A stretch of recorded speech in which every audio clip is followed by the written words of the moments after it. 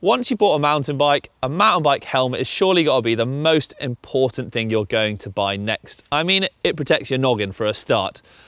In this video today, we're going to be looking at all the different types of mountain bike helmet there are out there, help you navigate which one's best for you and also how they differ from road helmets.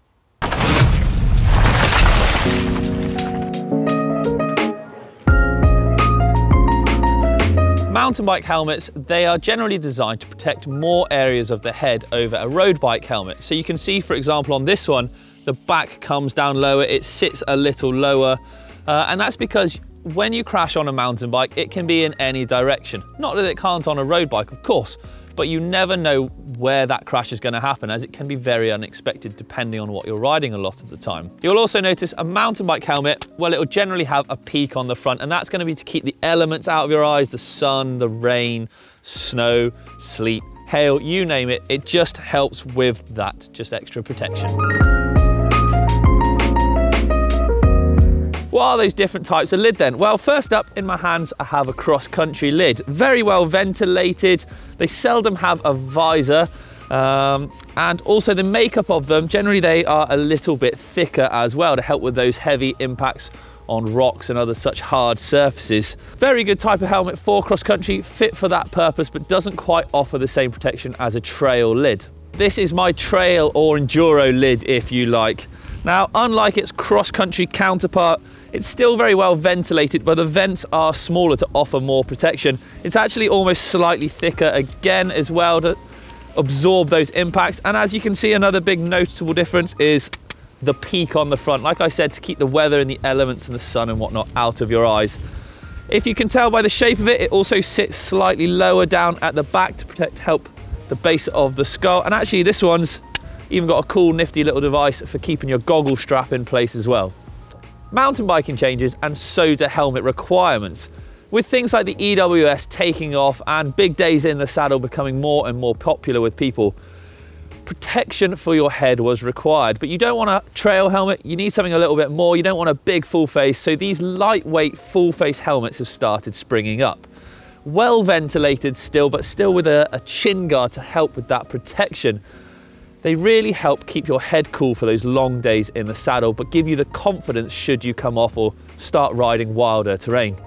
If you didn't want to be stuck with one of these sort of full face lightweight helmets, well then you can now actually get full faces with a detachable chin piece, giving you the option of having two helmets in one if you like. So you can wear your trail lid part of it on your liaison and then when you're going to bomb it back down, pop the chin piece back on and then you've got that full face back which does lead me nicely onto our next helmet. The full face, ultimate protection. Now these things, they are generally going to give you the ultimate and the most comprehensive protection of all the types of lid out there. I mean, they cover you 360 wherever you take a hit.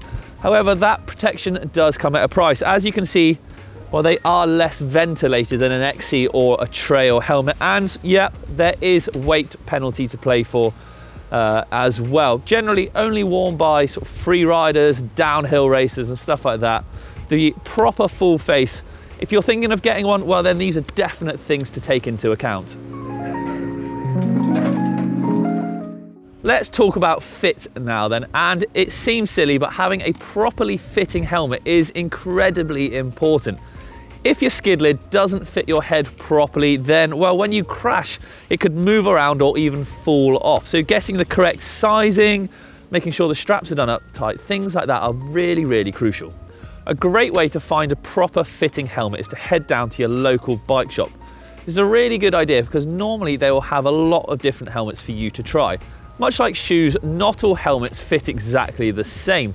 So being able to go somewhere and get some professional advice and try lots of different ones on and compare them is a really, really good idea. Online reviews are another great way of seeing what other people think of helmets. Do take these with a pinch of salt though, obviously, because like I said, everyone's head and fit is different. So it's not always something worth taking as gospel, but sometimes, like on shoes, I use that as a reference again because it's a really good one. You might have to size up just down to the shape of the helmet if it's slightly rounded or more overly, whatever the manufacturer makes. However, if you are going to buy something online, then do make sure they have like a good returns policy, uh, just in case. You don't want to be stuck with a helmet that doesn't fit you and just wear it anyway. It's, it's not worth doing.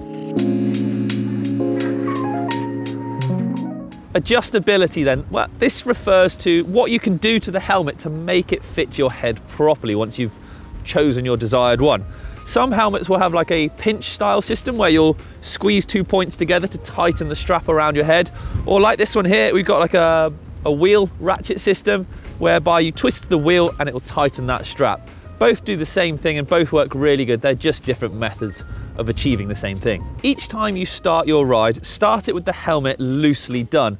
That way you can pop it on nice and easily and tighten it to a nice snug fit every time and then undo it when you get to the end of your ride or when you're done with it for the day. It just means that each time you'll be able to adjust it perfectly how you want it, rather than squeeze a helmet that's already done up tight on top of your head. It can be quite uncomfortable. Chin strap. Uh, now with these, you want them not done up too tight. You don't want it to be blooming cutting the hairs off of your chinny chin chin. At the same time, you don't want it so loose that it hangs down here. And obviously if you do have a crash, the chin strap could come up and hit you in the chin or the face and your helmet comes off either.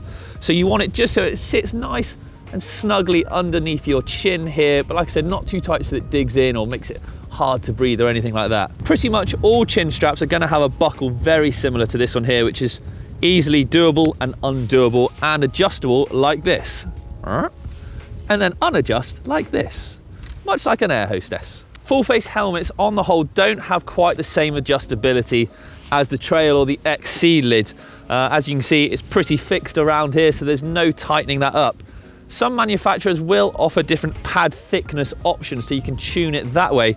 Um, and the buckle to do the chin strap is the same as the others. But it's just obviously really important if you are going to go down the full face route, make sure you definitely do get the right size on that. As like I said, there's no fine tuning the fit on it as much. Tech features are something that have come on a long way in helmets in recent years as well, with a particular focus on ways of stopping a sort of side impact or a rotational impact so that the helmet moves around the head. The most well-known out there is MIPS, Multi-Directional Impact Protection System. A lot of manufacturers will employ and use this system inside their own helmets. Almost, it's like a layer that goes inside that moves independently to the helmet. So like I said, if you strike your head, the helmet will rotate around as opposed to twisting your whole head. Other companies, much like POC here, do use their own system. We've got the POC spin system in this Tectal helmet here.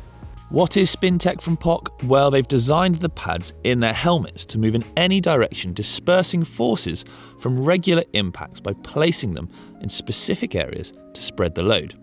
This allows the helmet to move independent to the head should it take a hit. GCN made a great video a few months ago where they actually visited the MIPS factory. So if you want to know more about how that system works, well, follow the link in the description below. In other helmet technology, we've seen things actually crossing over from other sports. Things like skiing, where backcountry skiers would go out and they'd have what was called the RECCO system. So should the worst happen, they get caught in an avalanche, it's actually a transponder or a tracker, if you like, that allows them to be found. This has come over into the bike world and is now actually incorporated into helmets, which is a really good idea because if you were to go out for big days in the middle of nowhere and have an accident, sadly, it can really up the chances of you being found quickly and effectively should you be severely injured, let's say. Hopefully not. Now, along with RECCO technology in this POC lid, they are actually incorporating what's called NFC medical technology as well. The NFC medical ID tag will have everything from your personal details and medical details, so things like allergies, blood type, but also emergency contact details. Everything that you could possibly want for the uh, emergency services to do their job as best as possible. A really good idea, actually. Specialized do something similar to this called ANGi. Now, it's a device that they have on the back of their helmets, a small sort of chip, if you like, but it's not specific to specialized helmets, which is really good. It can actually be put on any helmet out there. So no matter what lid you've got, it can be as safe as possible. When you have a crash, it will send out a signal telling uh, family or your emergency contacts that you choose exactly where you are. But actually can also be used as a live track device as well. So your loved ones will always know where you're going for a spin. Both good and bad, actually, that. Other features worth thinking about when buying a helmet then? Well, nifty little things. Like I said, this one for an Enduro trail helmet, that has got something to hold your goggles in place. If you are of the XC inclination, well, if you're riding with glasses and you want to pop them on your head, this has got little rubber inserts just either side of the helmet to help grip those glasses in place, keep them nice and safe so they don't wobble out and fall away. All these little details are just things worth thinking about which can really make or break a good helmet. It's really important that the helmet you do buy is the safest it can be and is going to give you the most protection it can be as well. So that's why standards these days are so high on helmets. All of these helmets here and pretty much every helmet out there has to meet very stringent, very tight guidelines when it comes to safety and passing these tests. Now there are some smaller companies out there that may not quite fully pass every single one, so it's really worth checking that they do uh, conform, like I said, to all the standards. And often, I know you guys can't quite see that on the camera maybe, but it does have the sticker on it showing that it meets those regulations. Now I know that this one's going to protect my noggin. I know I've banged on about Bloomin buying helmets left, right and centre here and that they are after a bike, the most important thing you can get. So when it comes to actually purchasing one, well, how much are you going to spend? I can't tell you how much to spend, but I can recommend you spend as much as you can and sensibly can afford to on a helmet. Now, a good helmet could set you back 100 quid, could set you back less, could set you back more. There is no uh, set amount to spend. I would recommend, like I said, buying the best one you can. Generally, the more you spend, the more features you're going to get on it, such as the RECCO system or the NFC medical ID tag, you know, all great things, but you can still get very, very good safe helmets for far cheaper. So just shop around, have a look at what you can afford and buy the safest one you can. Okay, that's it for helmets on this blustery, chilly day today. Thank you very much for watching. I hope you managed to learn something about sort of the different styles of helmets out there how they protect you, and also sort of the technology involved. It's pretty crazy now. But um, yeah, as always, thank you for watching. Don't forget if you want to see some more GMBN, hit the old subscribe button. We're off. Happy riding, everybody. Stay safe, and I'll catch you next time.